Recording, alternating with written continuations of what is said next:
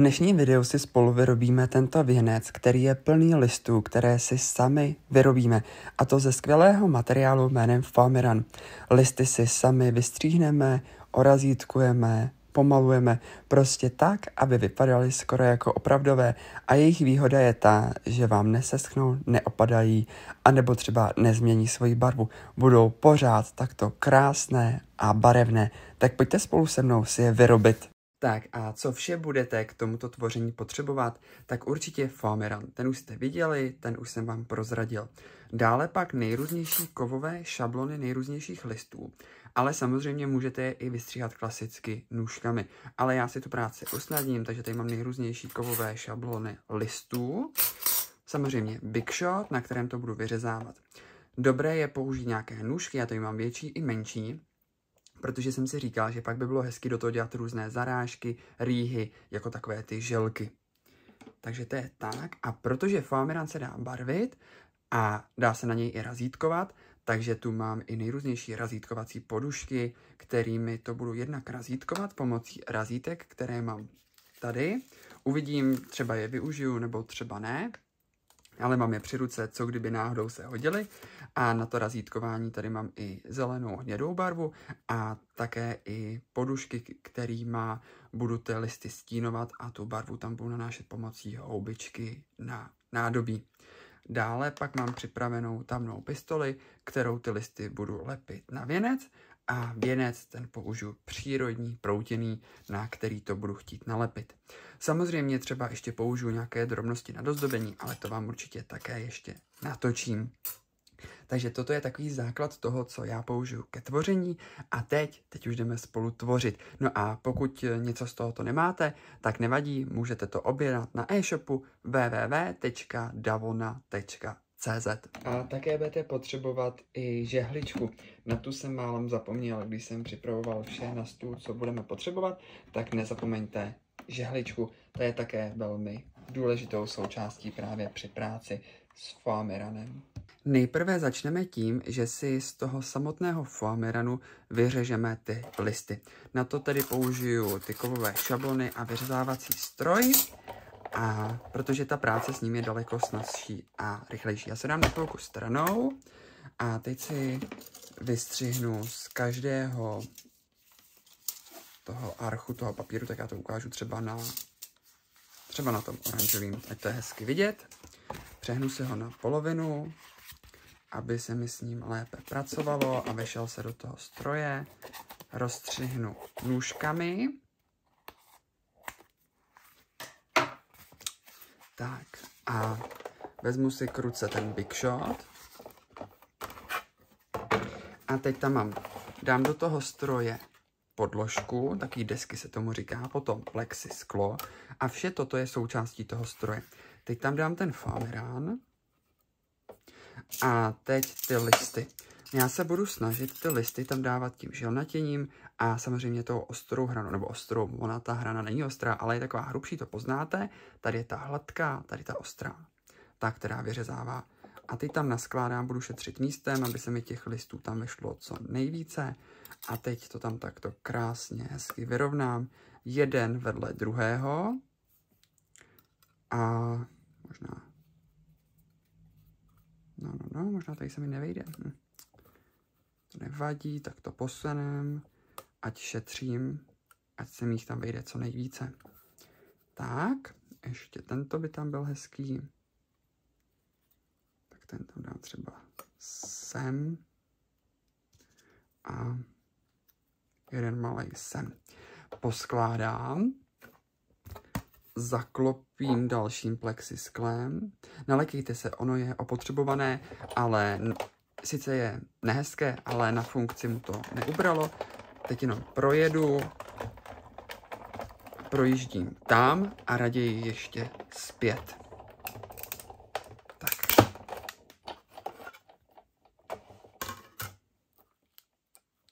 A vlastně mám vykrojené ty listy. Já kdybych to vystřihoval, tak mě to zabere daleko více času, ale šlo by to samozřejmě také ale tady tím si to prostě usnadním. Takže vyřežu si takto listy ze všech těch barev a udělám z toho ten věnec. Takže já budu pokračovat a poté vám ukážu, až budu mít všechny listy vyřezané, protože to bude teď pořád dokola, dokola. Po chvilce snažení mám listy vyřezané.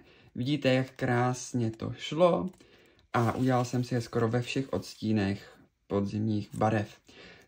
Myslím si, že materiálu mám dost a teď to společně ty listy ozdobíme předtím, než je trošku skroutíme na žehličce.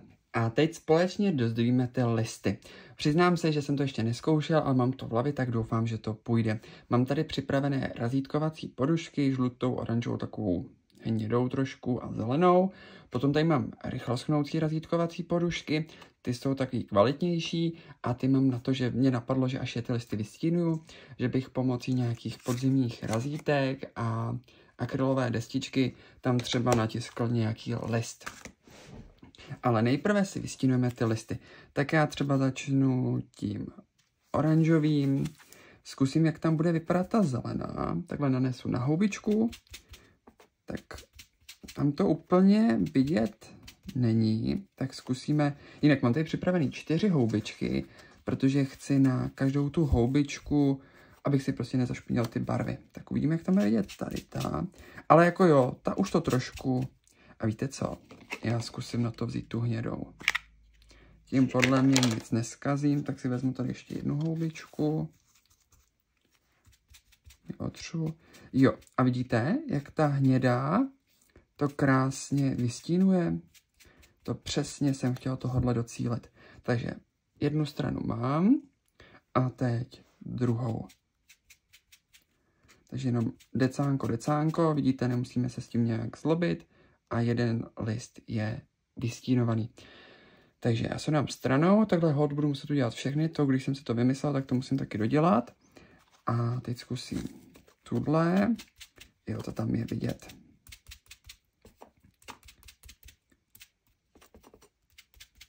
Tím vlastně trošku uzemním ty barvy, takže možná tu žlutou ani nepoužiju, protože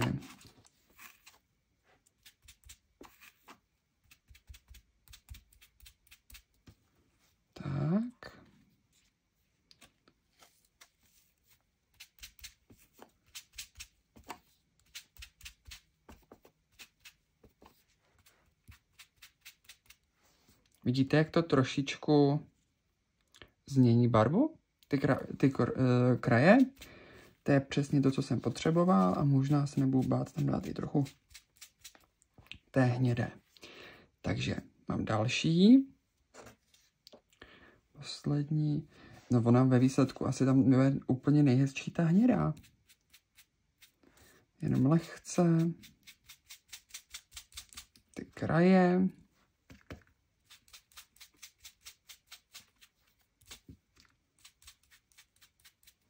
Se mi líbí, to jde rychle. Tak. A ještě si třeba zkusím ty lístečky, ať to taky vím, jak to jde. A abych vám tady netvrdil, že používám jenom tu hnědou, tak si vezmu světlejší listy a na to použiju ty barvy. I když jako ona ta hnědá asi ve výsledku je fakt nejhezčí. Ale zkusím, abyste viděli, tak třeba tento a na něj zkusím tu oranžovou.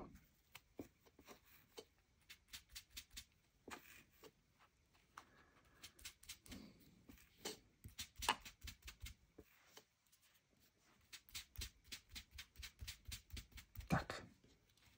A vidíte, jak to je uprostřed světlejší a ty kraje tmavší? To je přesně ten efekt, který jsem chtěl docílit. Takže já budu tady pokračovat ještě chviličku a pak vám ukážu, co s tím dál.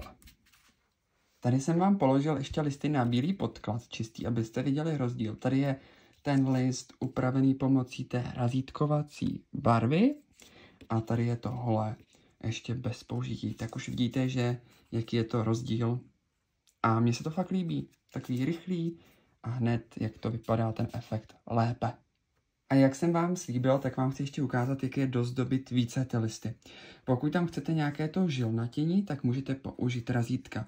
S těmi razítky se pracuje opravdu velmi hezky a jednoduše to razítko si položíte na takovou akrylovou destičku, aby se vám s tím lépe pracovalo. Poté si jenom pomocí nějaké razítkovací podušky nanesete barvu na to razítko a já třeba, tak já zvolím třeba tento oranžový list, připravím si to, kam bych chtěl to razítko umístit,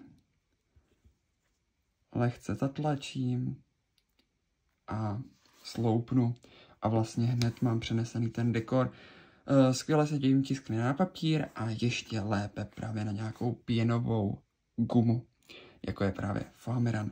Tak já jdu teď ozdobit zbylý listy, které tu mám připravené a až bude to hotové, tak vám to ukážu, co s tím potom následně dál.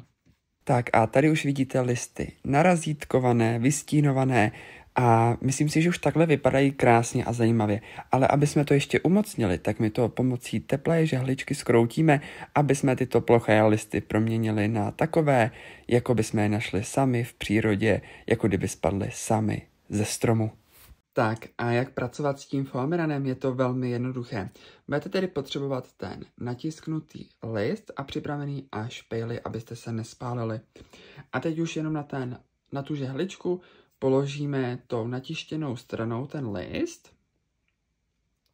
Chviličku počkáme, než se nám nahřeje ten list, odpadne a už se nám skroutí a vlastně máme takový realistický tvar toho listu. Tady vidíte list před a tady po. Takže ještě jednou. Vezmu ten list, položím na žehličku,